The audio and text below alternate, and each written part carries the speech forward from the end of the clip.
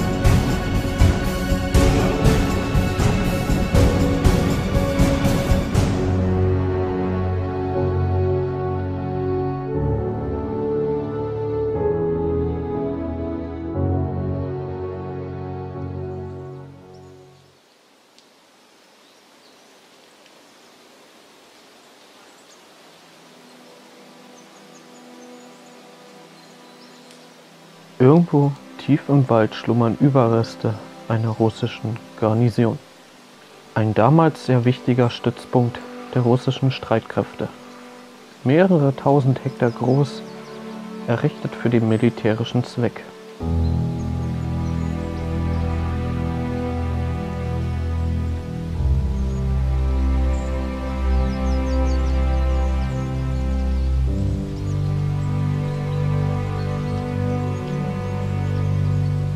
Bald wird durch Witterung und Natur nicht mehr viel übrig bleiben und die Geschichte des Ortes verschlingen.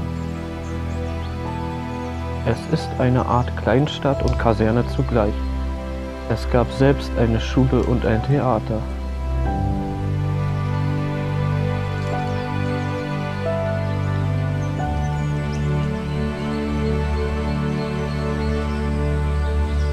Einiges ist schon bereits von Menschenhand zerstört worden, aber viele Gebäude stehen noch heute.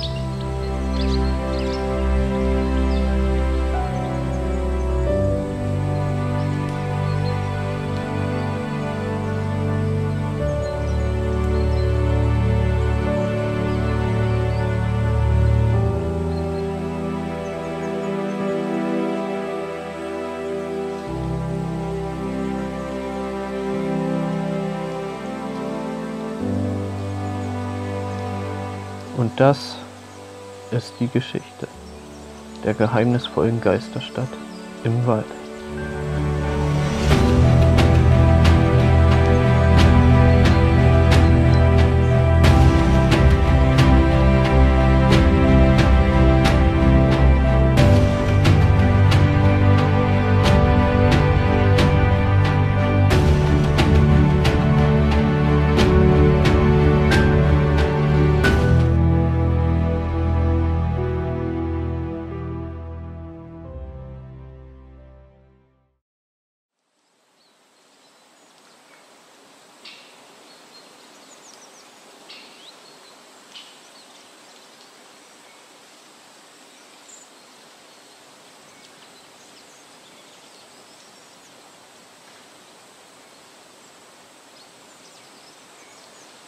Ein Haus.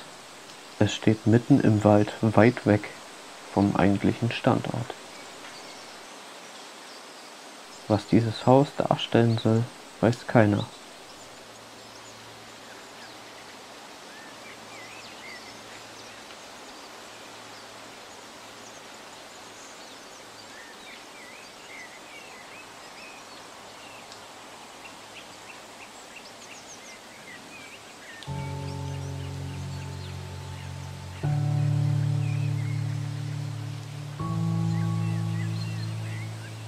Am Eingang steht ein großes Haus mit einem angrenzenden Garagenkomplex.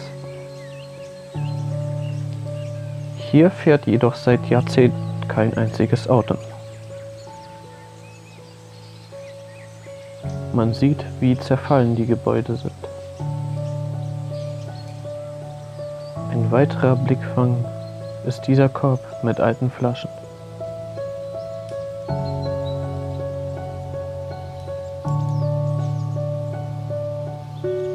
Irgendwie ist das alles etwas gespenstisch und gleichzeitig wunderschön. Überall, wo Menschen ein ganz normales Leben führten, ist heute nichts als Zerfall und Leere.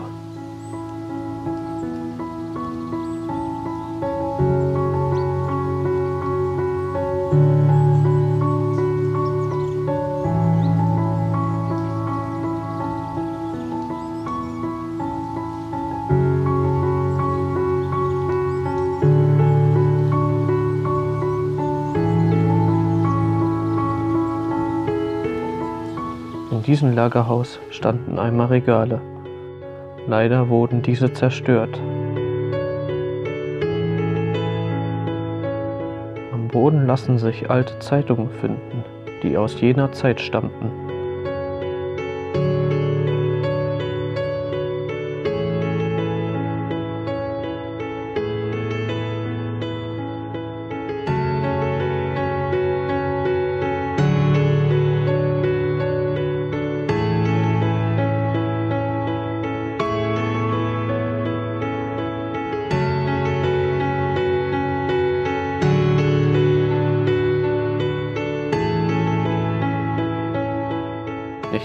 Befindet sich ein Konsum.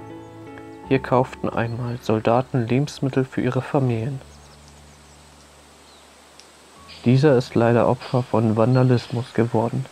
Einige Fenster sind komplett zerstört worden.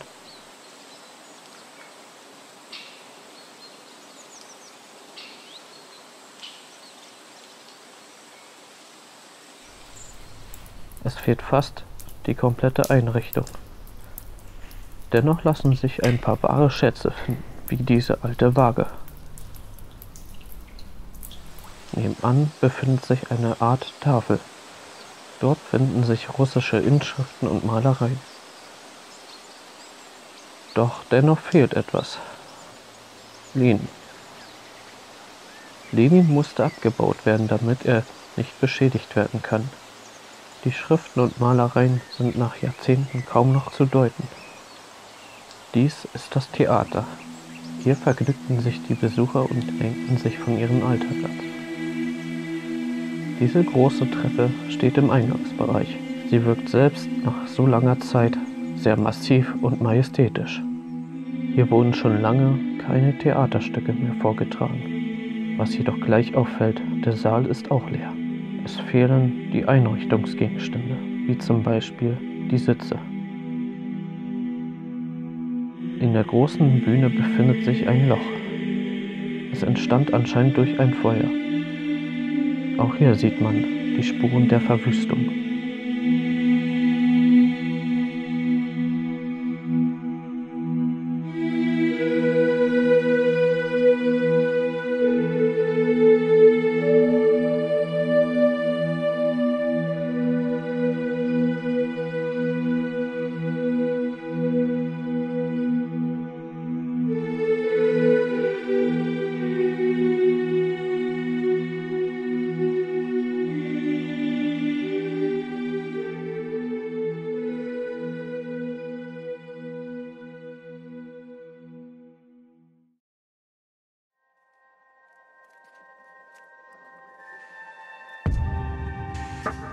Die Geschichte des Stützpunktes beginnt im März 1949. Hier beginnen etwa 800 Arbeiter westlich der Ortschaft Tangersdorf etwa 1400 Hektar Holzfläche abzuholzen. Hintergrund dieser Maßnahme ist die Erschaffung eines neuen Schießplatzes für die sowjetischen Besetzer. Mit diesem neu geschaffenen Platz beginnt die militärische Nutzung in dieser Gegend.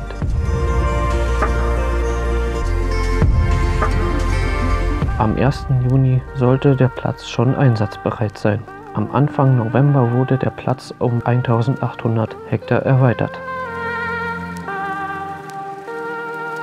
Später nutzte die DDR den Platz besonders für Panzerübungen. Um 1994 betrug die Fläche des gesamten Standortes ca. 6800 Hektar. Seit einigen Jahren befindet sich dieser Ort zu Recht unter Denkmalschutz.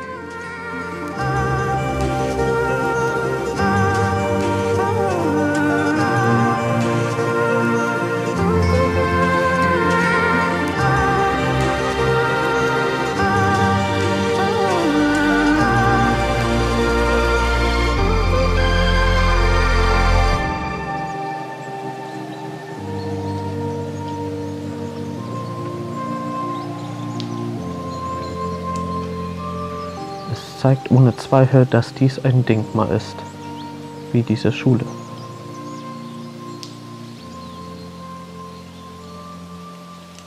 Hier wurden die Kinder der hier lebenden Familien unterrichtet. Die großen langen Gänge wirken irgendwie gespenstisch, wie aus einem Horrorfilm. Wo einst fleißige Kinder waren und lernten, sind heute nur noch ein paar alte Lampen auf dem Boden zu finden. Selbst die Tafel fehlt komplett. Heute ist nicht mehr viel übrig gelassen worden. Die märchenhaften Malereien sind nahezu unbeschädigt.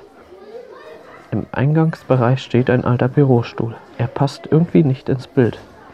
Dennoch ist er ein perfektes Fotomotiv. Dies ist die Tonhalle der Schule. Diese bietet besonders Sprayern eine gute Leinwand. Manches kann man als wahre Kunst bezeichnen und manche als Krakeleien. Der Boden der Tonhalle ist instabil und man droht einzubrechen, wenn man es wagt, einen Schritt zu setzen. Durch das Gebiet führen kilometerlange Straßen. Es sieht so aus, als wenn sie in das unendliche Nichts führen.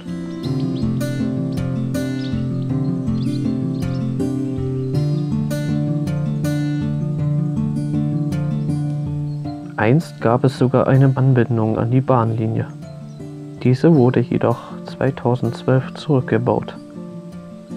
Wie bereits erwähnt, war auch dieser Ort wichtig für die DDR. Hier lernten Soldaten den richtigen Umgang mit Panzern. Etwas Besonderes ist dieser Übungspanzer hier. Trotz einiger Rostflecken hat er die Zeit ganz gut überstanden. Aber nicht alles hält der Zeit stand.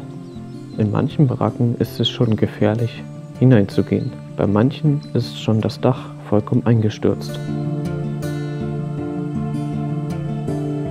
Es gab auch eine Kantine, wo sich die hungrigen Soldaten stärkten.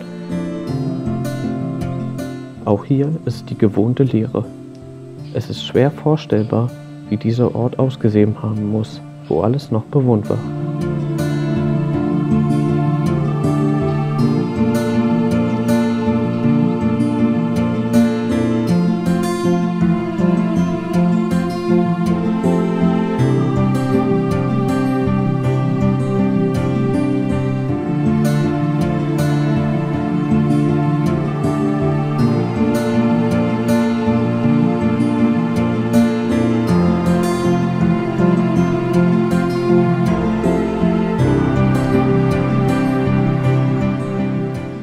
Einiger Zeit hat der Rückbau des Ortes begonnen.